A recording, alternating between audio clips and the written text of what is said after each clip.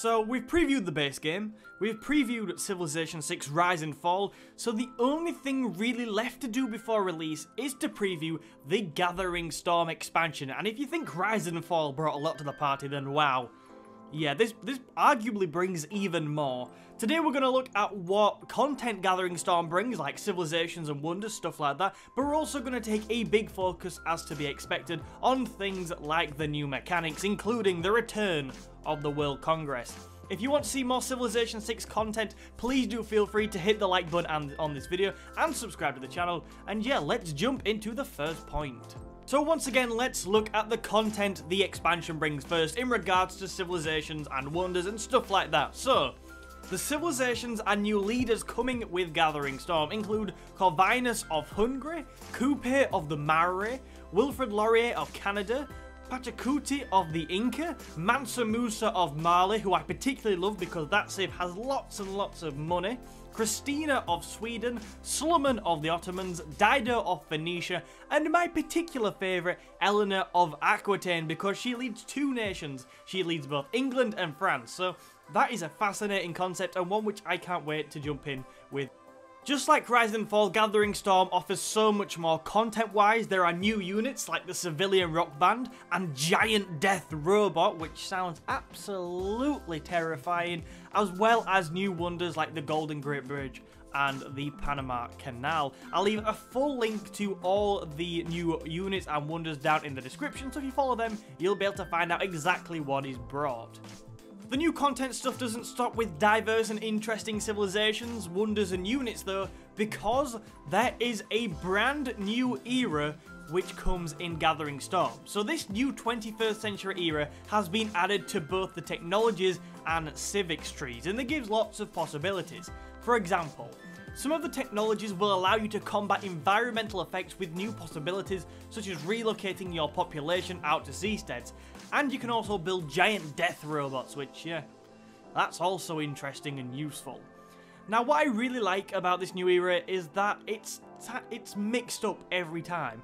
The technologies and civics trees for this brand new era will not look the same in every game because research times will be different, I think the order for things are different, so the fact that in real life, we don't know what the future holds. We don't know how long it's going to take us to research and perfect, and perfect certain things is reflected in the game. I think this is an absolutely fantastic feature, especially since they have randomized the two trees for each individual game.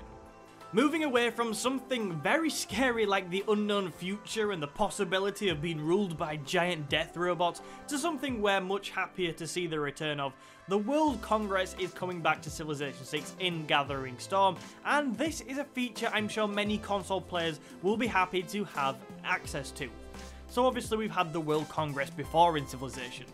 Now let's talk a little bit about its features and how it works. So to be effective in the World Congress, you're going to need plenty of its currency, which is favour. Favour can be attained through diplomatic means, including things like creating alliances and competing in the World Games or participating in peace agreements. All of them sort of things will gain you favour, which you can use to influence the World Congress.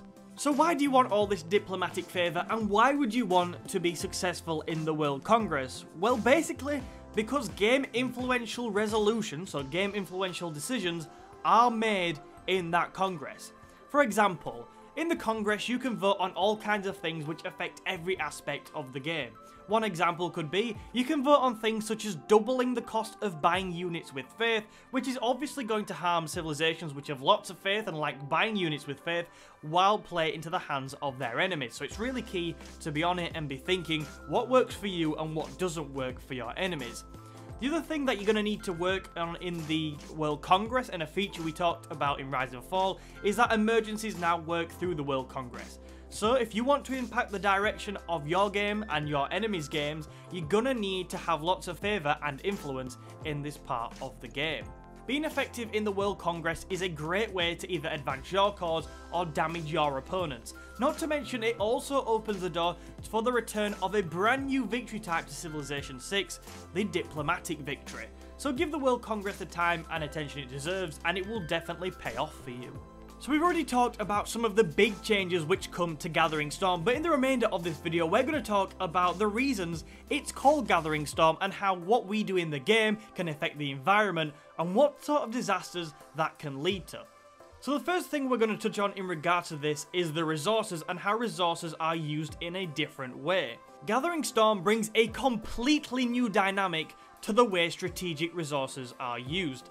The first major change is that strategic resources like coal, for example, are used as fuel to power your cities, especially from the industrial era onwards, which is a pretty big change considering that previously the most that your city did take from a resource like coal or something like that was that it essentially gave it extra hammers, also known as production. But in Gathering Storm, if you want your city to run to its maximum potential and make use of all those yields, you need to fuel it adequately. Now resources have changed in another way for units as well. No longer do you need just certain resources to just recruit a specific unit. For example, you've always need uh, needed tanks, uh, needed oil to build tanks and iron to construct swordsmen, but you also need a regular supply of such a resource to maintain these units correctly, or they will face a penalty when fighting. I think that's a really interesting dynamic because you've got to make sure you protect your resources. There is such a big focus now on resources, even more so than before. And we've seen that in real world conflicts where the resources, the strate strategic resources, are really what countries fight over uh, and what have been so influential in, in campaigns in real life. Now we're going to talk a little bit more about resource management and things like that later on, but just for now, let's remember that managing strategic resources is really, really important on a number of levels in Gathering Storm, way more so than it was in the base game. One of the interesting and most creative parts of this expansion is the inclusion of natural disasters. Each terrain presents its own possible challenges and depending on where you settle, depends on what natural disasters you're at risk from. There are volcanoes in the game which can obviously go off, desert sandstorms if you're near desert tiles, ocean hurricanes if you've got lots of cities on the sea, and blizzards and tornadoes, plus probably most importantly, river and coastal flooding. I have watched a few playthroughs of this expansion and rivers do flood regularly. Um, so although natural disasters will obviously cause severe harm to your civilization and its districts, there can however be yield boost to some titles one, tiles once they've passed. So if you're near a volcano, a lot of the land can be very, very nice afterwards. And also if a river floods, it can often bring a lot of nutrition to the land, giving you better yields and things like that. So Although largely natural disasters are bad for your civilization, there are things which can be salvaged and gained from them happening. The final big change that Gathering Storm brings that I want to talk about today is that of climate change. And we're going to talk about the strategic resources again. So as civilizations work their way through the world's resources, such as the coal we were talking about earlier, the world begins to experience serious climate change, and severe climate change can have big natural consequences, which is quite like real life to be fair. Things like floods will become more severe, and a feature that I really like is that as the sea levels rise because of climate change, the sea can begin to claim your land tiles. So maybe you've got a really nice, I don't know, coal tile or something. The sea could just claim it, and that tile will be gone for good. But, however, there is a few ways to manage this. So the first one is to try and make sure that you are managing the use of strategic resources around the world, so we're not having severe climate change in the game. And also as the game progresses and technology advances, players really can invest in new greener forms of energy, well they'll need to, and build bigger and better defences from the elements, just so the sea doesn't go stealing your land, which would be quite annoying.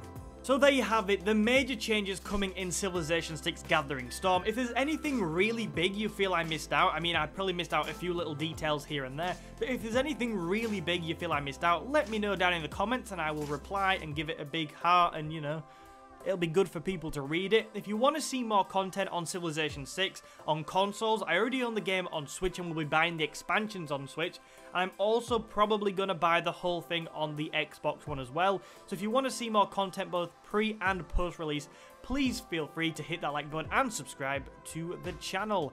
Thank you so much for watching and supporting the channel over the last months, years, however long you've been here, and I will see you in another video soon.